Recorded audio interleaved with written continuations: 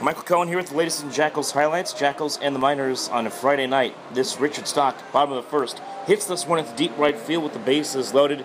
It would bring in a run, the first run of the day for the Jackals, as they would take a one to nothing lead.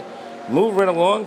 Jackals keep pounding the offense. This time, Michael O'Neill drives this run into the corner in right. It will bring in a run for the Jackals. It's an RBI double for O'Neill, and it is now a 2 0 lead in favor of the Jersey team. Moving right along again, it is going to be Richard Stock going the other way, this time into left field for a base hit. It brings in a run.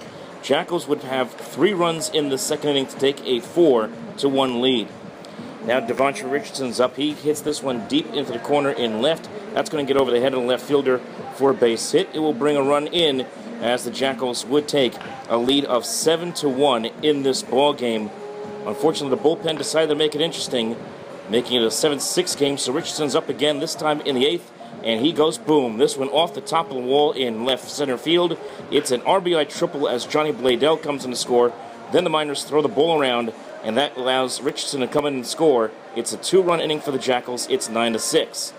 Now it's Jose Jose, and he gets a strikeout here, gets a couple of strikeouts in the ninth to end it, and the Jackals get off the schneid against the Miners. They win 9 to 6 back in first place in the Can-Am League.